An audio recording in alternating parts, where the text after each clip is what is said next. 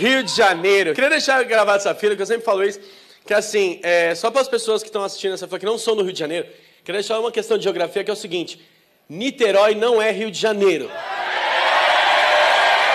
Não, porque aí chega o cara de Niterói vai em São Paulo e fala isso. Fala, não, eu moro no Rio. Que lugar do Rio? Niterói. Não, não é Rio, não. Então não é Rio.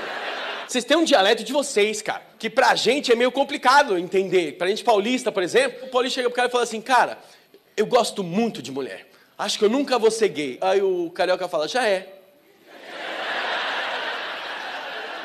Não, não sou não. Não, não sou não. Não, já é. Não, não sou não, já é. Não, e parece que vocês conversam, parece que vocês estão brigando. Você fica, qual é, bicho? Vamos lá, vamos descer lá pra praia, tomar um sol? Qual é, pô? Tem que fazer uns negócios aqui. Qual é? Deixa pra amanhã, parece que vocês estão brigando um com o outro. Qual é, pô? Qual é, pô? Qual, é? Então valeu, já é. E fica puta de uma, mistura no caralho que...